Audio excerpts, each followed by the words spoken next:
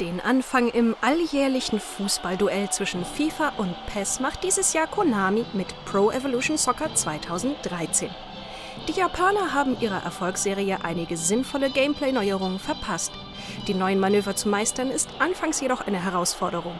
Wir haben nun die volle Kontrolle über Pässe und Schüsse und bestimmen nicht nur die Wucht und Richtung des Balls, sondern auch seine Höhe und Rotation. Auch bei der Ballannahme stehen uns eine Menge neuer Optionen zur Verfügung und wir können entscheiden, ob wir zum Beispiel den Ball anlupfen oder einen Volleyschuss antäuschen wollen. Es empfiehlt sich, all diese neuen Techniken erst eine Weile zu trainieren. Sind sie erst einmal verinnerlicht, laufen sie aber wie von selbst. Auch in Sachen KI hat sich einiges getan. Die Abwehr orientiert sich dynamisch an der Position des Balles, das Wechselspiel zwischen Angriff und Verteidigung funktioniert flüssiger und vor allem die Keeper agieren deutlich intelligenter als noch in der letzten Auflage.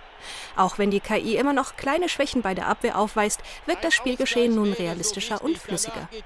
Das neue Player-ID-System sorgt zudem dafür, dass einige Dutzend der Spieler nun nicht nur charakteristische Animationen, sondern auch individuelle Moves spendiert bekommen haben.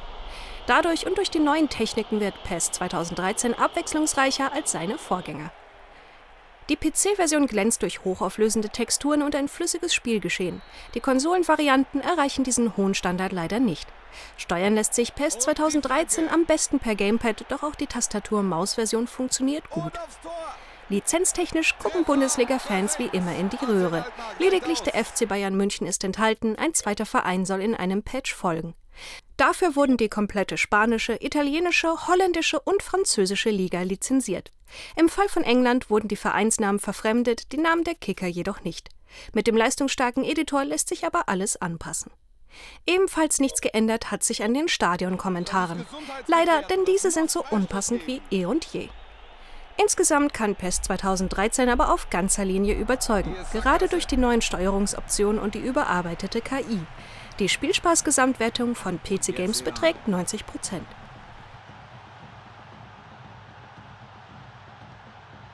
Da können Sie sich befreien.